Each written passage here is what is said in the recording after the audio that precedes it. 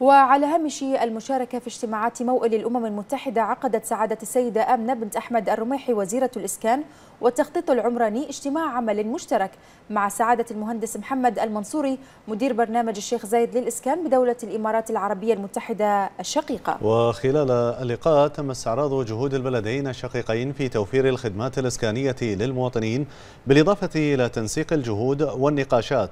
حول الموضوعات المطروحة في اجتماعات موئل الأمم المتحدة في دورتها الثانية. وقد تناولت سعادة الوزيرة مستجدات برنامج الشراكة بين القطاعين الحكومي والخاص في البحرين وما حققته من نتائج مبشرة تشجع على المضي في التوسع في تلك البرامج خلال المرحلة المقبلة. من جانبه ثمن مدير برنامج الشيخ زايد للإسكان جهود المملكة في توفير الخدمات الإسكانية والتوسع في الحلول المبتكرة مؤكدا الاستعداد المستمر للتعاون وتبادل الخبرات والتجارب بما يسهم في إثراء الخطط الإسكانية في كلا البلدين.